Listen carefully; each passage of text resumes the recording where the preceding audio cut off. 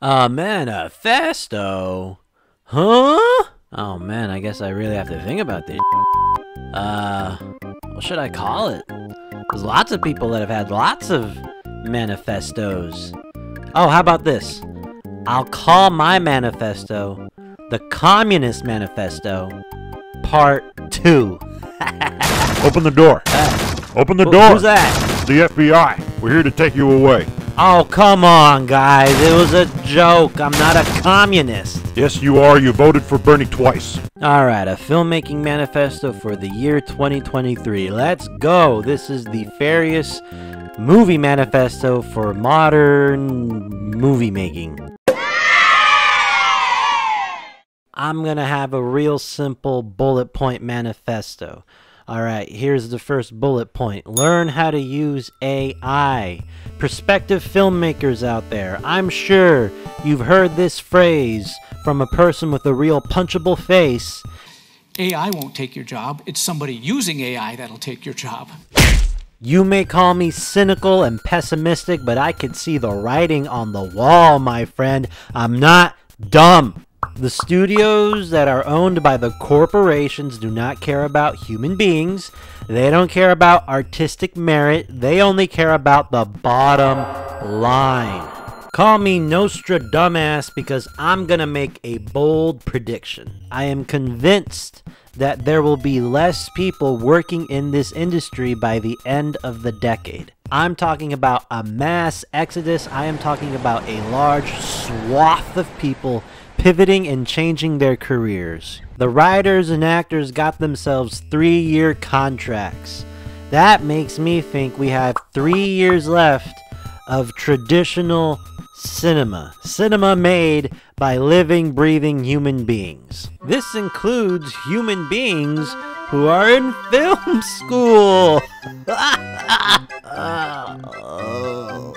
this AI going warp speed. We don't know what it's going to look like in three years. We don't know what it's going to be able to do in three years. And there's a big old chance that when these contracts come up and they end three years from now, the studios are going to be like, "F- you, we got a T1000 to take your place. It behooves us filmmakers to learn how the tools of our destruction work to prevent our destruction and use these tools in our favor. Second bullet point.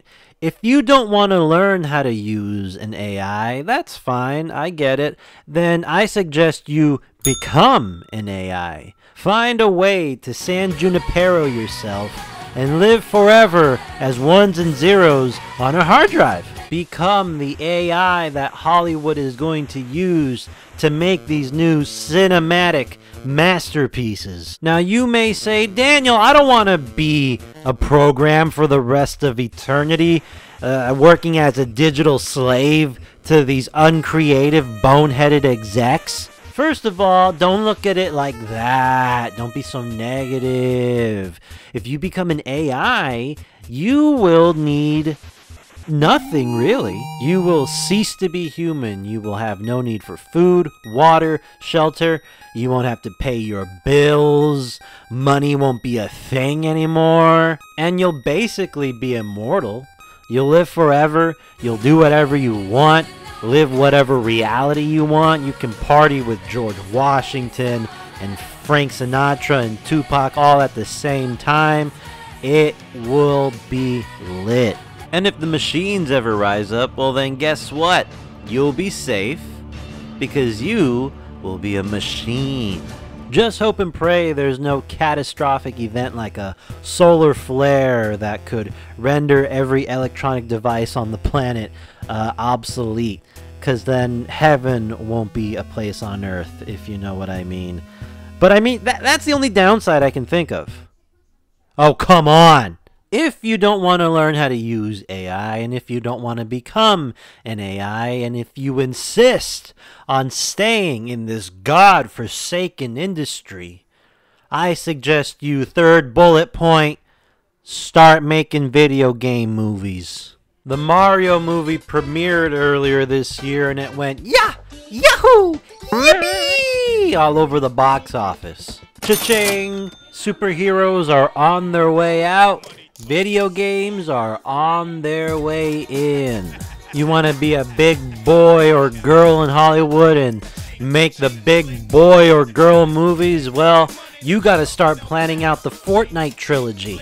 You gotta start writing the spec script for the sequel to the Minecraft movie. You gotta cast Sydney Sweeney in HBO's Oregon Trail. Me, I already know what games I want to adapt. I got them all lined up. First off, I want to adapt the very first Mother game from the Earthbound franchise as it's known here in America. And I'm not talking about Mother 2, I'm talking about Earthbound Beginnings. Uh, I want to adapt that game into either a movie or a one season miniseries to be thrown up on Netflix or something. I want to make an F Zero movie and cast Cody Rhodes as Captain Falcon. I mean, look at him. He already kind of looks like Captain Falcon. Just throw a helmet on him. Yes! And I want to adapt Star Fox into a movie and make it like Top Gun. So think Tom Cruise flying around in a jet in space, and instead of Tom Cruise, it's a giant anthropomorphic fox. Fourth bullet point consider becoming a content creator.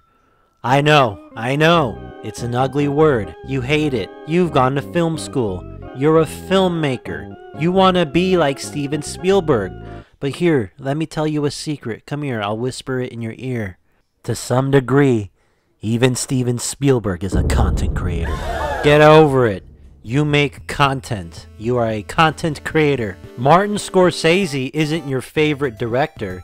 He's your favorite content creator. You all may scoff at the idea of making stuff for maybe YouTube or Instagram or, God forbid, TikTok.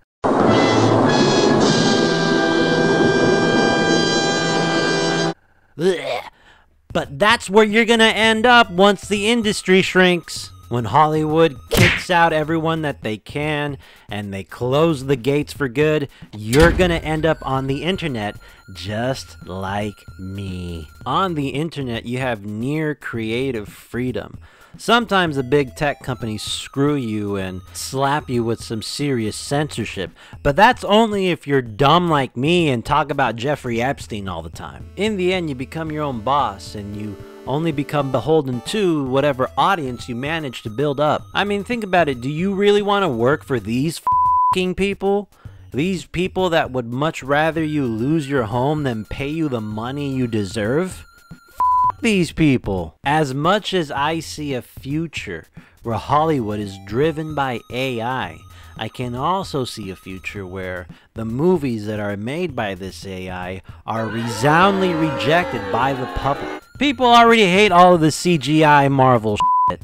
You think they're gonna stand for these abominations that are created by ones and zeros? Nah, nah! There's gonna be a hunger, a desire for real organic content that is made by real organic people. And I have a theory all of these people you're going to find eventually on the internet. And as much as I would love to end my manifesto here at four bullet points, you all know that four is my favorite number, I have to add a fifth and final bullet point.